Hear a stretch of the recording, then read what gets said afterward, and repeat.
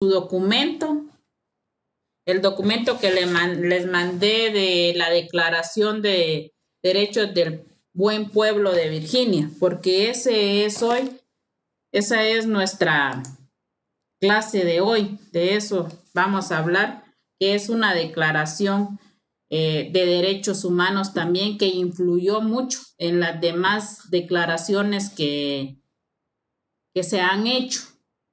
Eh, por ejemplo, la que estuvimos viendo, la carta de Juan Sin Tierra. Eh, si ustedes se dieron cuenta o entendieron un poco esta, esta carta o este, esta declaración o carta magna, era más que todo que protegía a, a varios nobles, o sea, estaba más que todo esto dirigido a nobles y se dejaba por un lado a los esclavos, a los colonos ingleses que vivían fuera de Inglaterra. Eh, entonces estos colonos, como se en esta carta de Juan sin tierra, estaban dándole beneficio a, a los nobles, ellos no se quisieron quedar atrás porque prácticamente a ellos los habían dejado afuera. ¿Y qué, qué hicieron ellos entonces? Estos colonos ingleses lucharon porque sus derechos también fueran tomados en cuentas por el rey.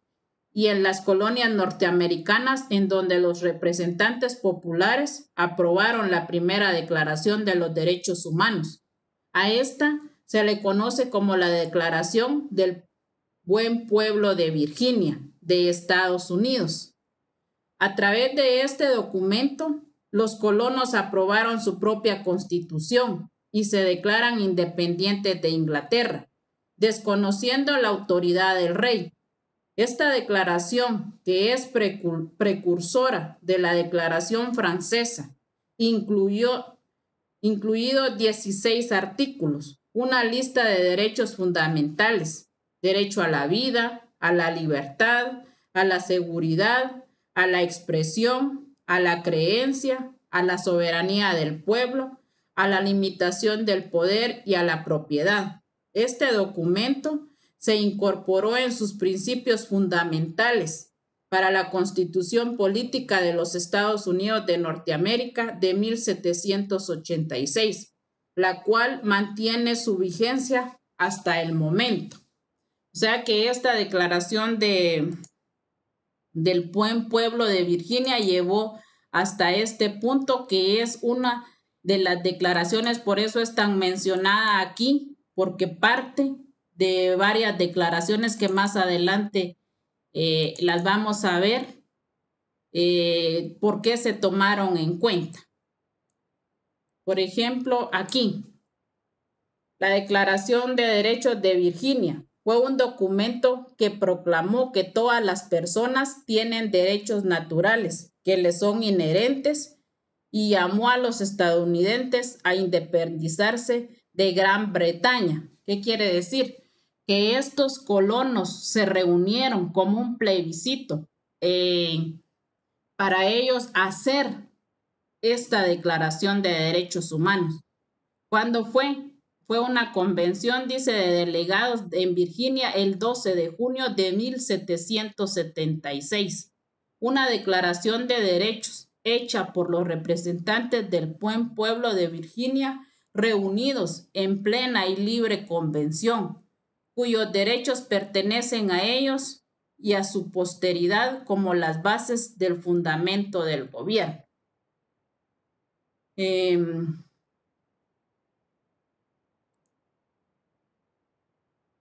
Nancy, no sé si tiene a la mano ahí el, documento de la Declaración de los Derechos del Pueblo de Virginia que lea el artículo 1.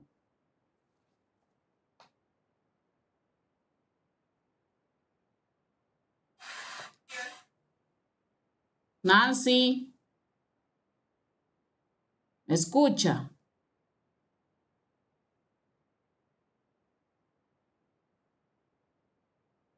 o Mari o Claudia.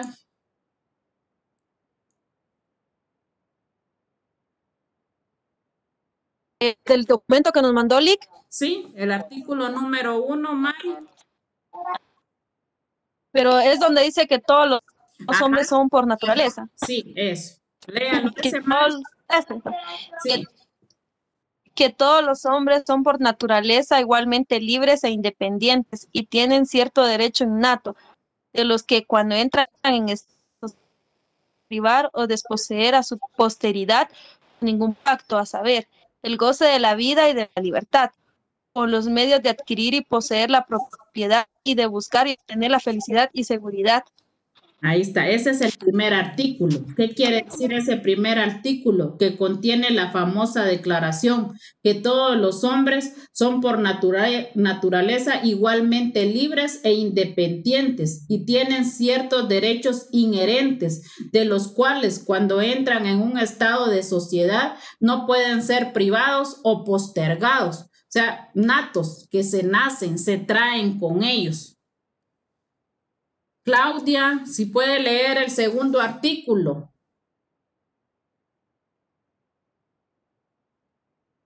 Em, que todo poder es inherente al pueblo y en consecuencia procede de él, que los magistrados son submandatarios y sus servidores y en cualquier momento responsables ante él.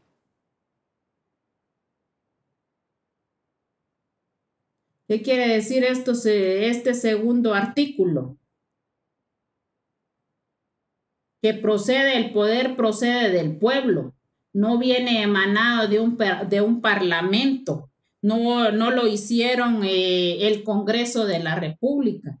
El que lo hizo fue el pueblo.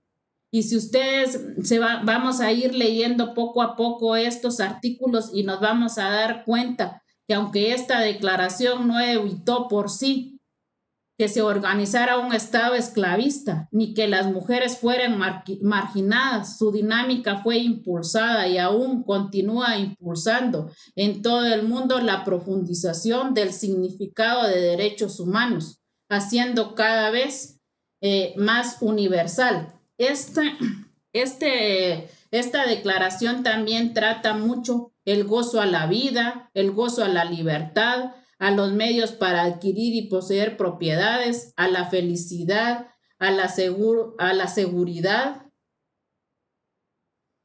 Snyder, léase el artículo 3.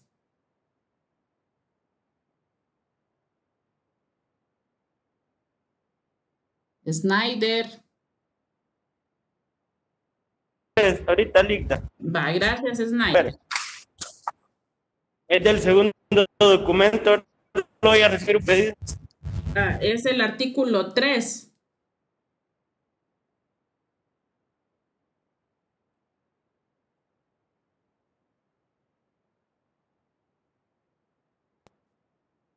recibiendo mi cena. ya vio y ahí, por eso les estoy preguntando para que no me dejen ahí solo el teléfono. Todavía no recibiendo que pedir.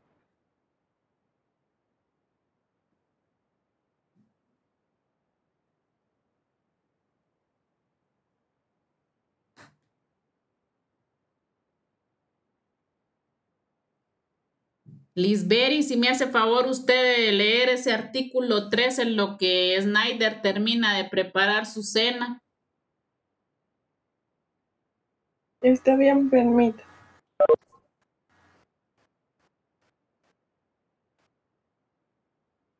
Dice el gobierno instituido o debería hacerlo por común provecho de protección y seguridad del pueblo, nación o comunidad que todas las que, que de todas las formas y modos de gobierno es el mejor y el más capaz de producir el mayor grado de felicidad y seguridad, y que está más eficaz asegurado contra el peligro de un mal gobierno y que cuando un gobierno resulte inadecuado o es contrario de a estos principios, una mayoría de la comunidad tiene derecho a, tiene el derecho indiscutible, inaliendo o irrevocable de reformarlo, alterarlo o abolirlo de la manera que se, que se juzgue más conveniente al bien público. Gracias, Lisbeth. ¿Qué quiere decir esto? Que consagra el artículo 3, consagra el derecho, la mayoría de la comunidad a reformar o abolir un gobierno cuando considere que no está orientado al bien común. Se definen aquí las bases del derecho a la resistencia o de rebelión en contra de la opresión. Eso es lo que nos quiere dar a entender este artículo 3. Si seguimos en la diapositiva, dice, está considerada la primera declaración de derechos humanos modernos de la historia, aunque tiene un importante antecedente en la Carta de Derechos inglesa, en la que 13 colonias británicas en América obtuvieron su independencia de Gran Bretaña. A través de esta declaración de, derechos del pueblo, buen pueblo de Virginia fue que estas 13 colonias obtuvieron su independencia de Gran, de Gran eh, Bretaña. A través de este documento, los colonos aprobaron su propia constitución, se declaran independientes de Inglaterra, desconociendo la autoridad del rey. Esta es en base también a la carta de Juan sin tierra. Ellos desconocieron esa carta, que solo tres meses tuvo vigencia, esta declaración de, derechos del, del pueblo de Virginia. Es un documento que proclama que todos los hombres son por naturaleza libres e independientes y tienen una serie de derechos inherentes de los cuales no pueden ser privados. La Declaración de Derechos de Virginia está compuesta por 16 artículos en donde están enumerados los derechos pertenecientes al pueblo de Virginia, como las bases fundamentales, bases y fundamentos del gobierno, respeto a la vida. Hemos venido desde la declara, desde los inicios, cómo se empezaron a reconocer los derechos humanos, empezaron a reconocer el derecho a la vida. Todo esto se emana también de las guerras, más de las de las pérdidas de la Primera y Segunda Guerra Mundial que empezaron a tener conciencia para tener respeto a la, a la vida, libertad de poseer propiedades. ¿Por qué? Porque en la carta de Juan sin tierra solo los nobles tenían derecho a poseer tierras. Y aquí vamos a ver que entonces ya los colonos, los, los esclavos podían también tener derecho a poseer propiedades, a cultivarlas y a ser parte de ellas, debido a proceso que no se podía juzgar, porque en la carta de Juan sin tierra solo los nobles tenían derecho a llevar un debido proceso, y en esta es igual para todos que tenían que llevar un debido proceso y sin ser juzgados, sin no estar, eh, probar su inocencia hasta ser vencidos en un debido proceso. Libertad de prensa y de religión. Todos podían expresar su descontento en cuanto al gobierno, a la monarquía o al rey, su religión, podían elegir el tipo de religión, la soberanía popular. De ahí nace que del pueblo por el pueblo empezó ahí la democracia, a pertenecer la soberanía al pueblo, no al gobernante, no al rey, no a la monarquía la prohibición de privilegios de nacimiento, igualdad ante la ley desde que nacen, empiezan a tener derechos, deberes y obligaciones hasta que mueren. Y aquí algo importante, desde aquí también nace la división de poderes, la separación de poderes, que es un hecho que hasta nuestros días, y gracias a esta declaración que se puso también esto de división de poderes, nuestra constitución hace que nosotros también tengamos una separación de funciones. Madeline, si me hace favor de leer el artículo cuarto.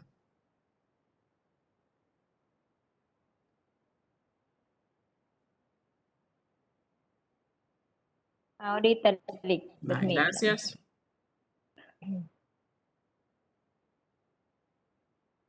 ningún hombre o grupo de hombres tiene derecho a percibir de la comunidad de emolumentos o privilegios exclusivos o especiales, sino solo en consideración a servicios públicos prestados los cuales, no pudiendo transmitirse, hacen que tampoco sean hereditarios los cargos de magistrado, legislador o juez.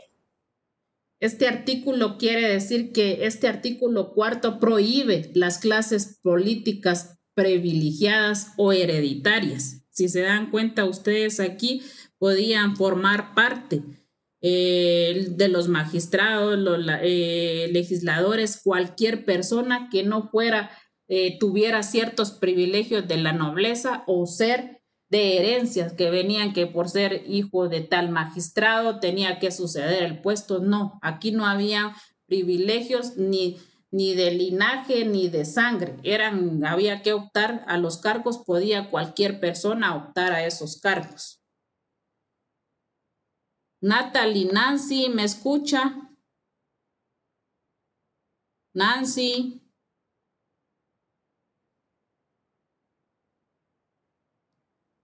Mari, léase el artículo 5, porfa.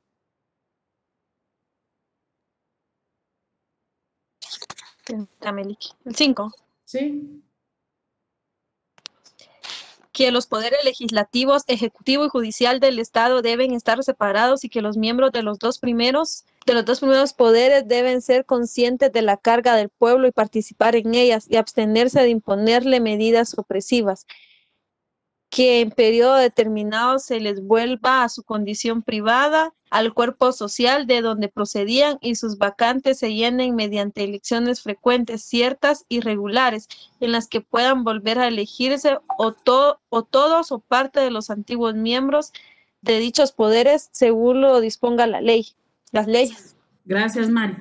Se dan cuenta aquí que marca este artículo la separación de poderes la periodicidad de los, mandatos, elecciones frecuentes y la obligación de todos los funcionarios de abandonar el poder y retomar a la vida privada. Por ejemplo, eh, en este caso el Ejecutivo, su periodo solo es para cuatro años. Ellos cumplen su periodo y nuevamente vuelven a, a retomar su vida privada, a hacer eh, un nuevo ciudadano. En, el Congreso no se ha podido hacer así, que los diputados solo eh, sean elegidos para un determinado periodo. ¿Por qué? Porque a ellos no les conviene que se reforme la ley y digan que no vayan a la reelección. Los alcaldes también, su periodo y vuelven a ser nuevamente eh, ciudadanos a partir de cesar su cargo dentro de los cuatro años. Eso es en cuanto los periodos de que gozan los funcionarios. Aquí también lo decía, en cuanto a la separación de poderes, está que el, legislativo y el ejecutivo y el judicial, y está en cuanto a los frenos y contrapesos. Desde aquí nace y se impone esta separación de poderes. Artículo 6, Snyder.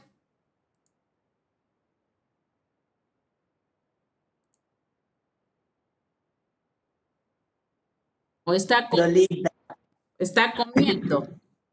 Sí. Entonces, eh, Claudia, léamelo, por favor.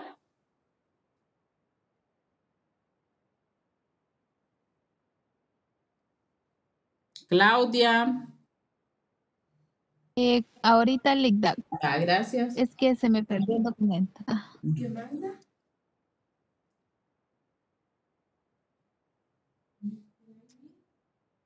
¿Cuál me dijo, Linda? El 6.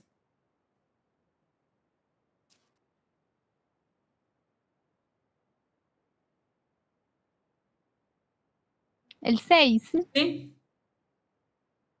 Bueno. Que en, en litigios. No, que las em, elecciones de representantes del pueblo Así que las elecciones de representantes del pueblo en asamblea deben ser libres y que todos los hombres que deben que den suficientes pruebas de permanente interés por la comunidad y de vinculación con ella poseen el derecho de sufragio y no puedan ser sometidos a contribuciones ni privados de su propiedad por razones de utilidad pública sin ningún consentimiento o el de sus representantes así elegidos ni estén obligados por la ley y alguna a la que del mismo modo no hayan sometido para el bien público. ¿Qué quiere decir este artículo? Que las elecciones tienen que ser libres en asamblea como hasta el momento nosotros lo hacemos, que eh, vamos a las urnas eh, a emitir nuestro voto sin coacción, sin presión, sino que libremente a elegir nuestros representantes. Aquí también dice que no puedan ser sometidos a contribución ni privados de, su propiedad por razones de utilidad pública. ¿Qué quiere decir esto? Que si yo tengo un terreno y se va a beneficiar hacer un puente para que los peatones puedan pasar o trasladarse de un lugar a otro. Se puede hacer, pero con una debida justificación a poderme expropiar de mi propiedad, pero previo a eso también hacer una indemnización, no simplemente venir y quitarme o expropiar la propiedad.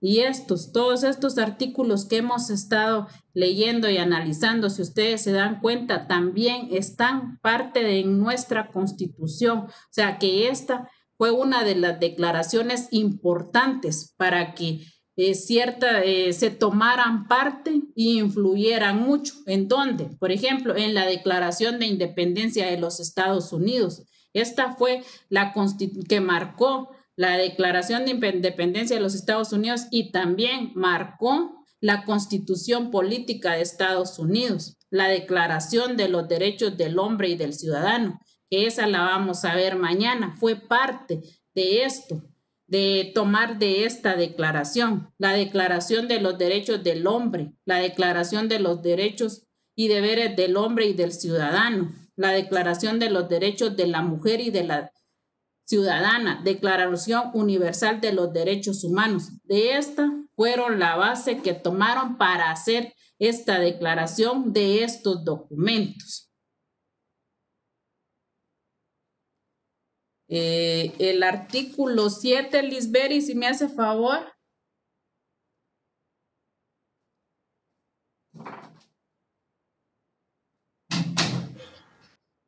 Dice que toda la facultad de suspender las leyes o la ejecución de las leyes por cualquier autoridad sin el consentimiento de representantes del pueblo es perjudicial para sus derechos y no debe ejercer.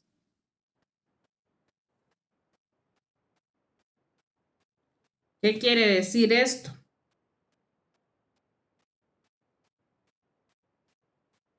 Que ninguna persona podría, por ejemplo, ellos no se podía reformar esta declaración por medio de los mandatarios, de los delegados, de los funcionarios, de los representantes del pueblo, si no se reunía en sí el pueblo para estar de acuerdo en cualquier modificación que le pudieran hacer a esta declaración.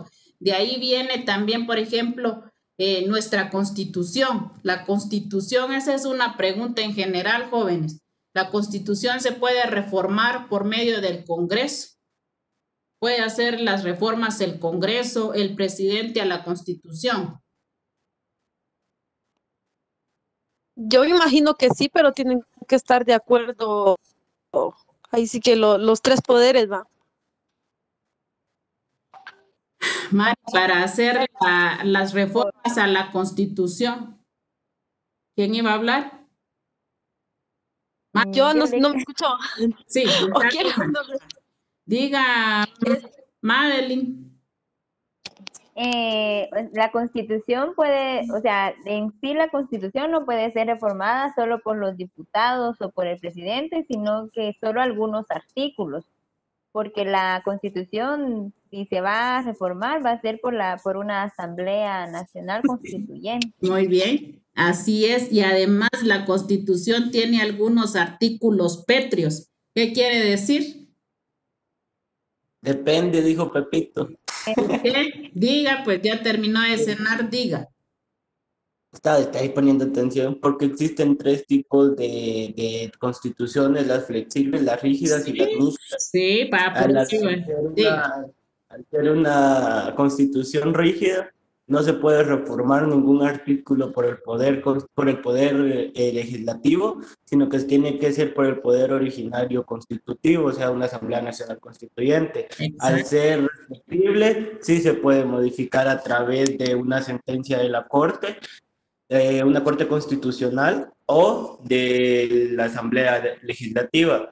Y la mixta, como es el caso de Guatemala, existen los artículos flexibles que sí se pueden reformar a través del Congreso. Y existen los artículos pétreos, que son los que no se pueden reformar, solamente que hubiese una Asamblea Nacional Constituyente o el, rompimiento del hilo constitucional. Ahí está, más claro ni al lado, pero yo eh, soy de la idea también que nuestra constitución se puede hacer más la reforma siempre a través de la Asamblea Nacional Constituyente, porque yo no sé si ustedes se acuerdan que hubo un tiempo que hubo una consulta, si se sometieron al pueblo a decir sí, no, para reformar la constitución y la mayoría se, eh, no fue a votar, hubo abstencionismo y no se pudo realizar las reformas a la constitución, la cual, eh, a mi parecer, urgen muchas reformas eh, que necesita nuestra constitución para mejorar en beneficio, eh, más que todo, pues de, ciudad, de sus de los ciudadanos y del pueblo en general. Se necesita mucho, pero lastimosamente a nuestros señores diputados no eh, les interesa porque iría en contra de sus intereses. ¿Cómo empezó a crearse la Declaración de los Derechos del Pueblo de Virginia? Dice que fue aprobada la declaración principalmente debido al trabajo de Jorge Ma Manzón. El comité y la convención hicieron algunos cambios, dice, gramaticales y añadieron artículos 10 y 14. Esta declaración sirvió de modelo para equivalentes en las constituciones de diversos estados y fue una fuente de la Declaración de Derechos del Hombre y del Ciudadano en Francia. Thomas Jefferson se inspiró en ella cuando exigió la incorporación de una Carta de Derechos Humanos en la Constitución de Estados Unidos. Lafayette, quien había peleado por la independencia de Estados Unidos, tomó la Declaración de los Derechos del Hombre y del Ciudadano de 1789 durante la Revolución Francesa. ¿Qué quiere decir? La declaración influyó decisivamente en los documentos de derechos humanos posteriores. Thomas Jefferson se inspiró en ella cuando exigió la incorporación de una Carta de, los Derechos a los Estados Unidos, incluida en su Constitución de los Estados Unidos. Lafayette, como dice ahí, quien había peleado por la independencia de los Estados Unidos, tomó la Declaración de Virginia. Sobre ella compuso la Declaración de los Derechos del Hombre y del Ciudadano de 1789 durante la Revolución Francesa. La importancia de la Declaración de Derechos de Virginia radica en su con constitucionalismo, es decir, que no se trata de una ley realizada por un parlamento, fácilmente modificada o derogada, de, derogada por otra ley, sino en una norma constitucional que quiere procedimientos mucho más complejos y mayorías especiales para ser reformada. La declaración del pueblo de Virginia no es con, dice que para ser reformada se necesita que el pueblo o la soberanía del pueblo esté de acuerdo para poder reformar cada uno de los artículos que estuvimos eh, analizando, leyendo, porque fue propuesta, fue hecha por el mismo pueblo. Eh, Nancy no me ha escuchado en toda la clase, no ha participado, no sé si me escucha, pero Snyder, leas el siguiente artículo que sería el 7, si me hace favor. Está. Manda. Ahora sí me escucha. Sí. Ah, es que ya he tenido problemas con mi audio solo Ah. le escribí que Ah, me Va. bien. Favor de leer ese artículo entonces. Más está bien. Este se lo leo. Nos tocaría el artículo número 8, ¿verdad, licenciada? Sí. que en todo proceso criminal, inclusive aquellos en que se pide la pena capital, el acusado tiene derecho a saber la causa y la naturaleza de la acusación, a ser careado de sus acusadores y testigos, a pedir pruebas a su favor y a ser juzgados rápidamente por un jurado imparcial de 12 ho- hombres de, de su vecindad y sin cuyo consentimiento unánime no podrá considerarle culpable. Tampoco se puede obligarle a testificar contra sí mismo, que nadie sea privado de su libertad, salvo por mandato de la ley del país o por juicio de, su, de sus iguales. ¿Qué quiere decir? Que el artículo 8 establece las bases del debido proceso, un juicio justo, la prohibición de castigos crueles o anormales y el juicio por jurados. O sea que aquí había un, un jurado imparcial y calificados para hacer, eh, un, llevar un juicio justo. Léase el artículo 12, Snyder.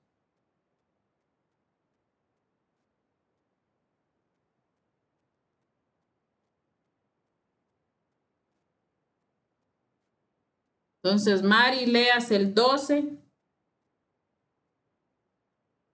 Tameli, me salí de esto. El 12. Sí.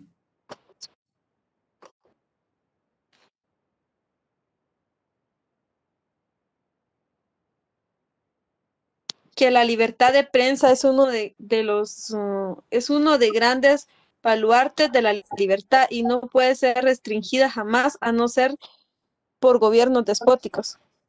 Aquí es eh, donde declaran la libertad de expresión, que todo ciudadano podía expresar lo que estaba en conforme del gobierno o de, los que estaban eh, gobierno. En cuanto a los gobiernos despóticos, dice autoritarios, que estaban eh, siendo, esclavizando a la población. El artículo 13, Madeline.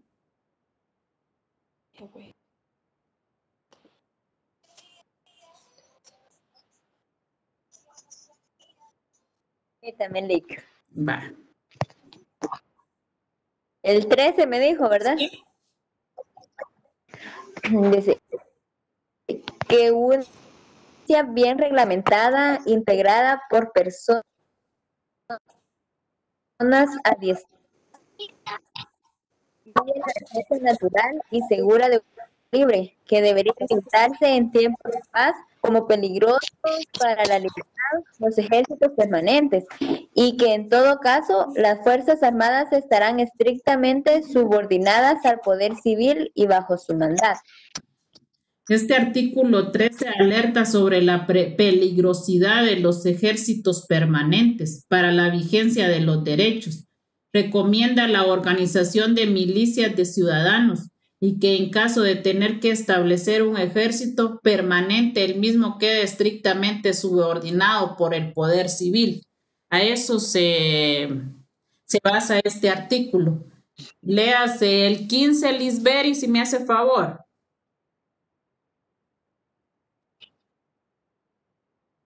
El 15. Sí.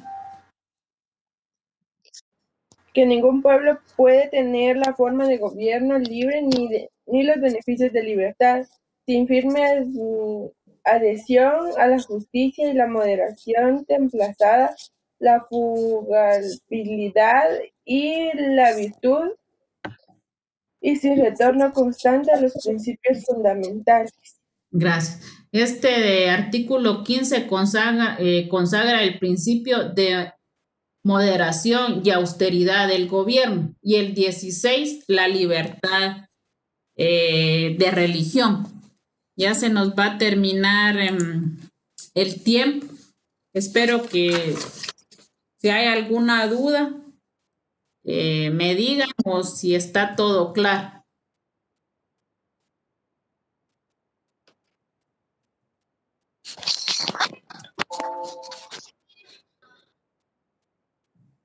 ¿Quieren agregar algún comentario?